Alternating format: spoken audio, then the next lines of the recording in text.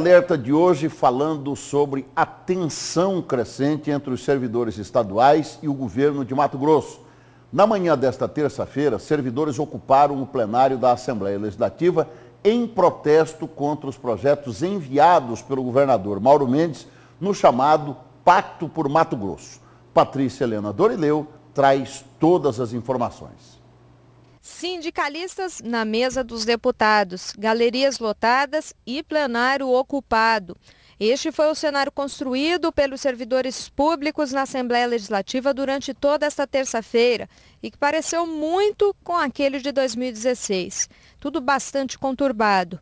A invasão, que resultou em ares condicionados desligados e impedimento na entrada de bebida e comida, tem como objetivo a retirada de pauta das mensagens bombas do Executivo. O ato é contra todas estas polêmicas mensagens que foram encaminhadas pelo Palácio Paiaguás e que pedem para serem votadas antes do fim dessa legislatura. A próxima toma posse no dia 1 de fevereiro.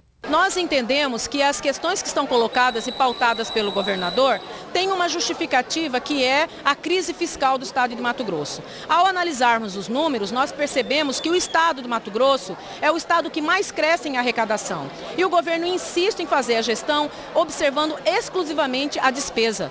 E enquanto isso, faz uma dilapidação do patrimônio público pela renúncia fiscal. Ora, nós sabemos que o Estado é o único capaz de resolver o problema da crise fiscal atuando como é, um diligente nas, das contas públicas, ou seja, arrecadar de quem tem mais e parar de é, sacrificar quem tem menos, que são os assalariados. O projeto da RGA se transformou num grão de areia no universo.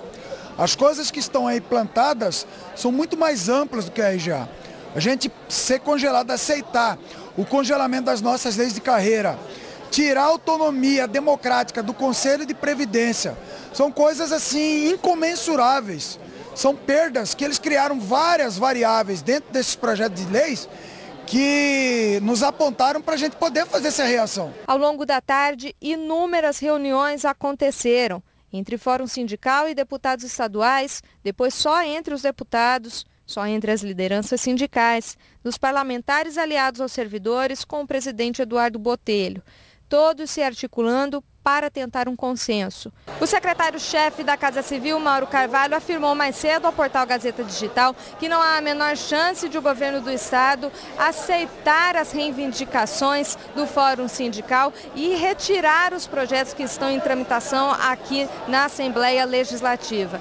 Disse ainda que é uma intransigência antidemocrática ocupar o plenário da maneira como foi feita hoje como as mensagens foram encaminhadas do Executivo ao Legislativo em regime de urgência, a maior preocupação dos servidores neste momento é que elas sejam votadas fora do plenário, em uma sessão secreta.